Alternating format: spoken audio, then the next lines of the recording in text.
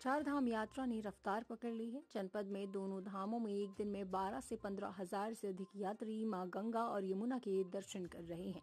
गंगोत्री धाम में अभी तक दो लाख छह हज़ार पाँच सौ चालीस यात्रियों ने माँ गंगा के दर्शन किए हैं।